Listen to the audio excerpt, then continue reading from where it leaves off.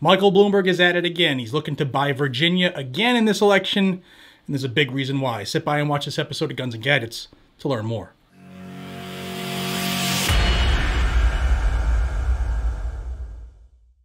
Hey everybody, welcome back to the channel. I appreciate your time. Thank you for watching. Today is Monday. It's a little late. I had to go down to uh, Cranston and see my buddies uh, Dan, Brendan, and John. Uh, but we are here with the Monday Morning Grind brought to us by Blackout Coffee. You want the freshest small batch roasted coffee in the land, check us out, blackoutcoffee.com slash GNG. We have some great swag. Hoodies are back in stock, just in time for fall. And uh, let's jump into this little ditty I have for you. Michael Bloomberg, via Everytown for Gun Safety and Moms Demand Action, are looking to spend at least, at least another $1.8 million in Virginia for the 2022 elections, looking to buy the elections again. Why? Because a part of it is a lot of people are so upset with what's happened in the last two years. As the as every, town two years ago, Everytown for Gun Safety, they turned Virginia blue because for a lot of reasons. But uh, they're looking to solidify that because a lot of people are, are very upset about the, the anti-gun uh, swing in Virginia, and they're looking to rise up and have some better people elected, I guess. Maybe some better people are running. I am not in Virginia. I don't know everybody who's running, but what I will tell you is that $1 million of that, at least 1.8, at least 1 million of it, is going to go to uh, help fund or to help the campaign of the former governor in Virginia, Terry McAuliffe. This is a picture of Terry McAuliffe, and he, like I said, he's a previous two-term Virginia governor, but in the past, he has sparred with Everytown for Gun Safety. He's even called them an out-of-state uh, group looking to meddle in state politics, but now they're paying him a lot of money. What does that tell you, folks? I don't even have to say anymore. They're going to spend at least a million dollars in his campaign, and they are campaigning for him on the ground. Shannon Watts and her moms demand some type of action, and their minions are volunteering to go door to door and knock on everybody's door in Virginia until, quote unquote, people are sick of hearing from us, end quote. Uh, and that's they have a pretty solid little ground army. When I was in Georgia for the Senate uh, elections, trying to get door, I was actually knocking on people's doors, trying to get people to get out and vote. Um, Everytown and Moms Demand Action, they were a big presence there, a very big presence. So they're going to do the same again in uh, Virginia, and they're starting now. So that's 1 million, at least 1 million of the at least 1.8 million.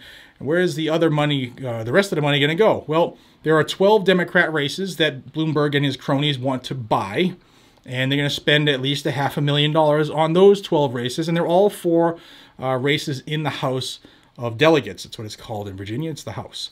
Um, he also is uh, going to contribute uh, at least $300,000 uh, to the campaign of a former lawmaker, Hala Ayala, who is running for lieutenant governor.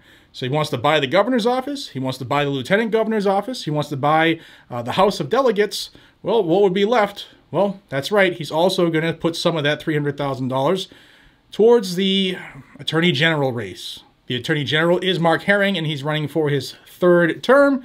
So Bloomberg is going to try to buy his office as well. Now I'm going to read you a quote by this person. This is John Feinblatt. He's the president of Everytown for Gun Safety. He said, Voters are seeing an epidemic within an epidemic. We've had to deal with the COVID pandemic, but what we're also seeing is a rise in violent crime. And that's making voters even more supportive of gun safety laws.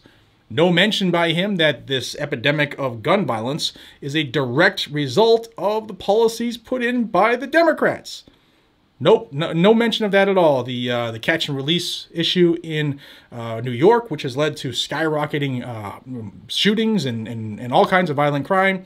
No mention to the defund police stuff that the Democrats keyed in the last uh, election that has led to like a 900% increase in uh, in homicides and shootings in Portland. And I, I, think it's still burning for those who live in Portland. I mean, I think it's still burning. Um, no mention of that. But they're going to make sure that the people don't remember that stuff from two years ago because people don't, you know, they just do what CNN tells them to do. Uh, but no mention of, of the truth. Now, for those who are going to say, hey, Jared, $1.8 million isn't a lot of money, well, they flipped the entire state from red to blue with only $2.5 million last time. Um, so, uh, if you live in if you live in Virginia, do not let what happened last time happen again. Get out and vote. Talk to your friends. Talk to your uh, your your neighbors and everybody. Anybody who's sick and tired of what's going on, you got to get them out to take some action. If you know some pro-constitution people who might want to help the community and help the state, maybe get him to run for office. Um, I don't know, man. It's uh, I'm just bringing you the news. I know there's a lot of things people are saying about elections and stuff, and, and I, believe me, I'm with you on 90% of it.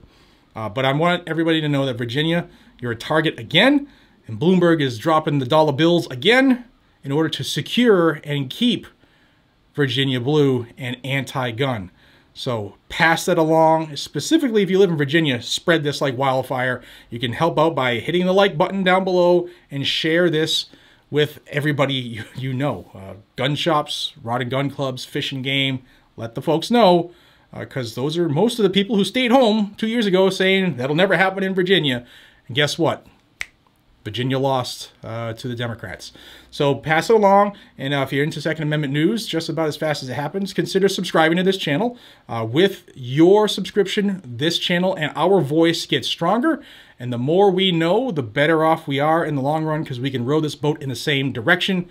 And uh, I don't know about you, but it's all about freedom at any cost. Till we see each other again, be safe, stay vigilant, carry a weapon. Please check out Blackout Coffee. We have some really good things and some big announcements coming up, uh, and I hope that uh, you will partake. With that said, have a fantastic day. I will see you on the next one. Take care, everybody.